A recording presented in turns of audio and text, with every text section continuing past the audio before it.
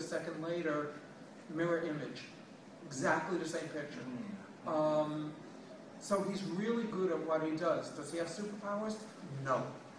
Well, student, I. Okay, uh, but I was told as editor-in-chief, we had to do this, and I could not, uh, in any way, shape, or form, subject any of my writers to it.